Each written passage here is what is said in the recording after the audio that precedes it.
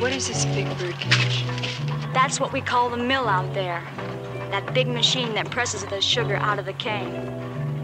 The warden Zappa is nuts about it. He had the whole thing built from his own plan, and he keeps adding to it, making it bigger and bigger. The ones who work in the birdcage are the ones who didn't keep up their quotas in the fields, or girls who make trouble, like fighting or stealing something. That's because people get hurt sometimes in the big bird cage. Especially informers get hurt, maybe even killed.